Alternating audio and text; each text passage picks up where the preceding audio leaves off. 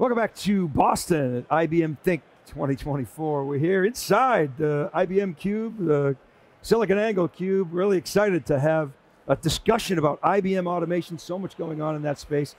Ajay Patel is here. He's the general manager of Apptio IBM, and Bill Lobig, the vice president of product management for IBM Automation. Guys, thanks for coming inside Thanks. the Cube. Thanks, Appreciate Dave. it. Thanks for Thanks, having us. Thanks Yep. for building this set.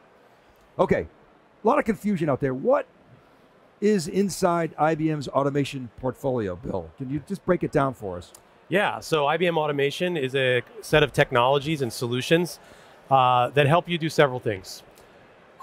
Optimize the value you get from your IT investments, and then manage the performance and health of those investments over time across networking, IT operations, cost value management, and it's all optimized for IBM's hybrid cloud strategy.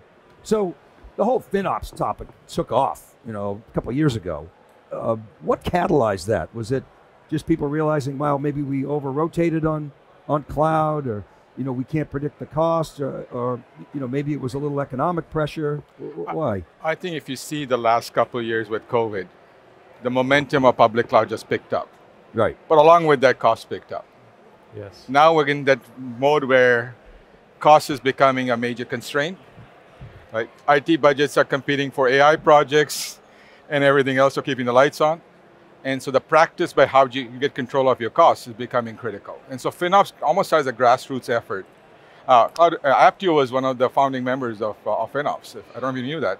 Uh, J.R. was part of the Cloudability team that started this. I did uh, not know that actually. Yeah, so over the years, what's happened is it's really become a community effort. Now, almost I think 47 of the 50 Fortune 50 are on the FinOps uh, community. And we have a groundswell of practitioners who are looking to see how do we bring the financial discipline to how do you manage cost? How do you move from being kind of an esoteric approach to making it pervasive for developers to participate so that they are Yes. cost aware in all the businesses? So you're talking about operationalizing it essentially. Yeah. Yep. And then where does where does watsonx fit into this? Because you know, a lot of people say, "Well, isn't AI going to do that?" Well, AI is just it seems like magic, but it's not that easy. I think we're a great example of an applied AI use case.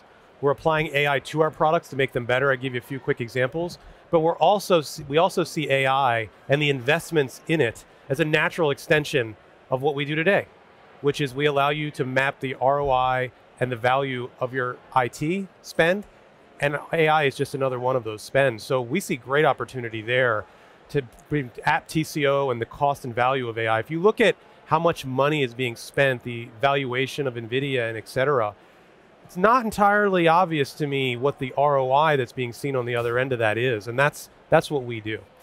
We're Well- also leveraging AI to make it easier to interact with our tools. You can ask questions versus having to look things up and generally improve the experience and make it more frictionless. Well, you, you mentioned that. I mean, there are some similar patterns emerging in the the AI wave that The cloud that, wave, You know, we lived through the dot com.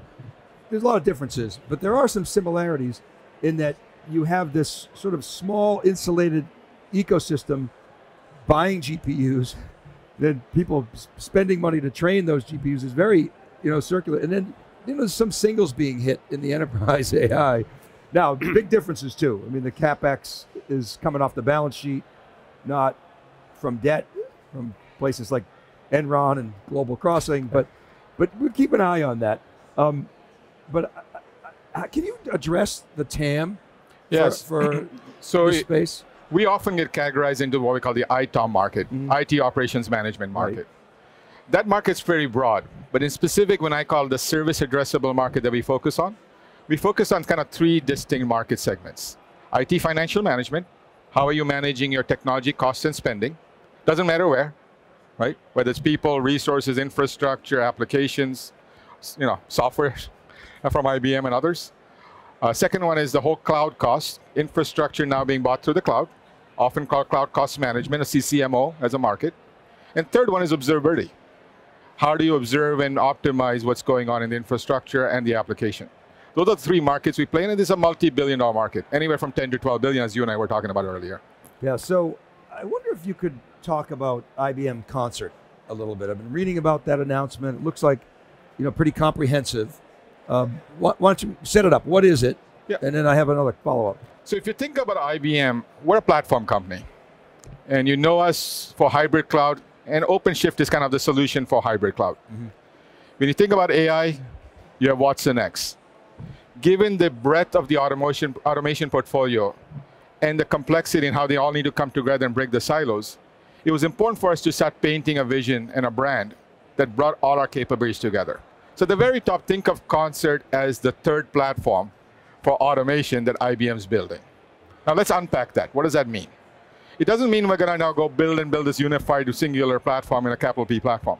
We're going to take best of breed solutions in the three markets I talked about, but bring them together using an insights and action framework, using watsonx as the underlying Gen AI technology to stitch together these three domains for use cases where we provide rich context for specific use cases for specific users. Whether you're a finance user, you're a CIO, you're a DevOps engineer, an SRE, or an operator, you have specific use cases you're trying to solve for.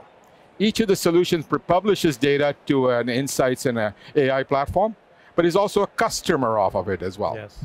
And the piece that stitches it all together is Concert. So Concert is the next generation management platform that brings best of breed solutions that's AI enabled and has an AI enabled action framework. So is Concert the umbrella and something like Cloud Pak for AIOps? Those just fits- fit fits into in capabilities into the Yes. Concert solution. I see.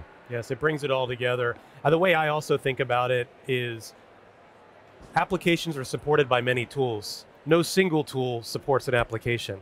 And how do you break down the barriers and, as Ajay mentioned, the silos to get contextual insights and actions at an application centric level Correct. and do that in a platform in a cohesive way? That's what we're focused on. That's what Concert is.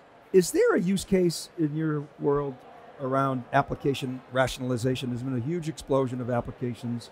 Uh, when we go through these cycles, Y2K, explosion Yeah. of apps, and then you know post 9/11, big rationalization exercise. Financial crisis, big opportunity. COVID, you didn't have time because you were just you, you were Yeah. forced to digital, right? So now you have more apps supporting remote workers. Does AI provide an opportunity to do a, a, a portfolio rationalization, and do you guys fit in that? No, absolutely. So if you start at the very top, the first question I often ask a CIO is, do you know where your money is going? Ah. Yeah, fair question. So the first question really is how do I quickly discover where all my money is being spent and for what tools portfolio? We call it portfolio management. So AI enables you to do automated discovery, correlation, because just knowing where you're spending the money, but how do you link it to the applications and the business value generate? How do you make decisions on kill this app, invest more in this app? This is the kind of stuff AI will enable. Allow you to start understand your complex environment, link it to business value, start to decision provide you insights on how do you stack up against your competitors? Where are opportunities for scale? Where should you invest? What's the ROI or TCO for the solution?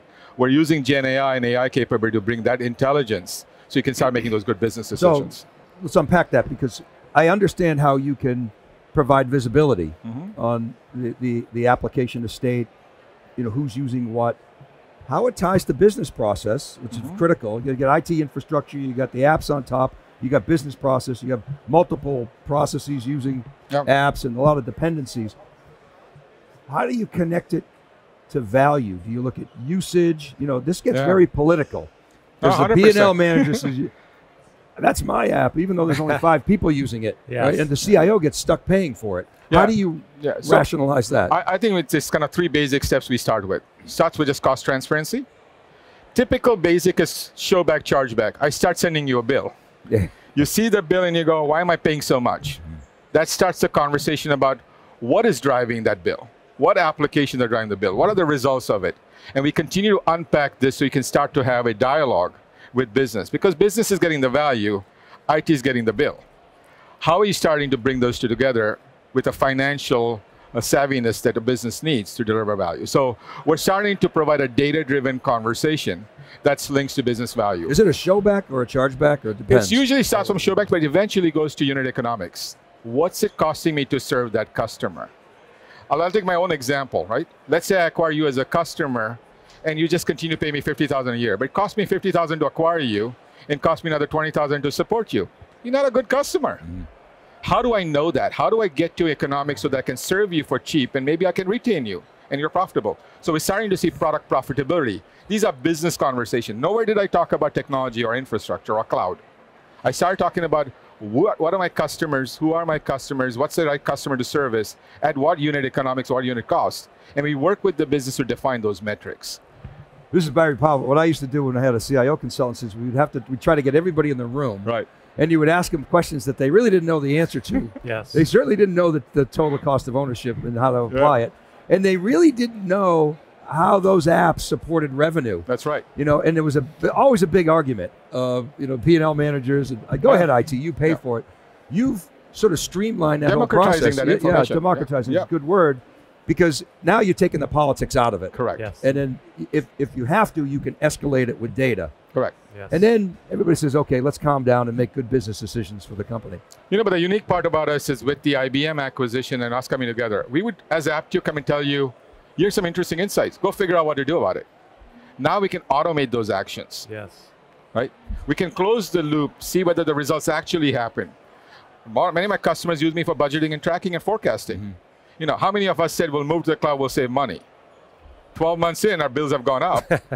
Nothing's been saved. So how do I provide visibility of, is it really going as planned? Or what value did I get Or out of that? value I get does, out it, of it. does it warrant that? Exactly. And so that's the kind of conversation we're driving, which is why becoming so strategically important, both in terms of insight, but also how do we automate the actions to drive the savings you need. Let's close with how you guys see the future of IT automation, specifically as it relates to, to Gen AI. Bill, you start.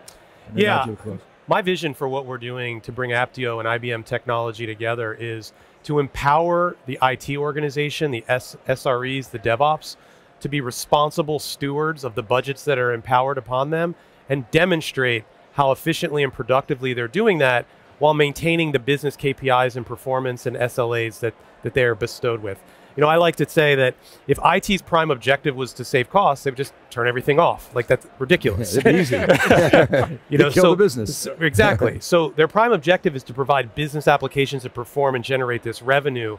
And by bringing Apptio together with the other technologies we have, powered by Concert, Gen AI, to bring that insights, it'll raise the level of awareness in all the constituents and, and help it build better outcomes for our know, customers. we were laughing about that's that was one of the tricks we used to use is what happens if the application gets shut down? Right. Ah! And Nobody you- screams you want it- to yeah, know. right, exactly. If Yeah. Nobody says, well, nothing. That's really. one way We to do try something it. else. It's of equal value. Yeah. All right, Ajay, bring us home. So I would walk you with two or three key points. The world is moving to more real time.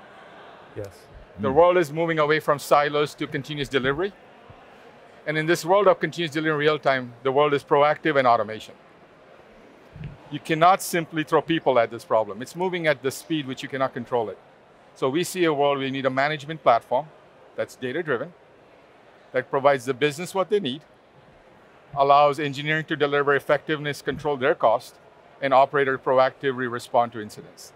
All built around our AI driven insight platform that uniquely delivers value to our customers. I love that vision because we see the future of applications as intelligent applications in real time. Correct. So many, so many use cases in things like supply chains and logistics and and many more, uh, bringing transactions and analytics together. So you need that kind of IT automation underneath. Guys, thanks so much for Yeah, coming on the thanks, cube. Really appreciate your Thank time. Great. Okay, and thank you for watching this special Cube presentation. IBM Think 2024 from Boston. We'll be right back. This is Dave Vellante.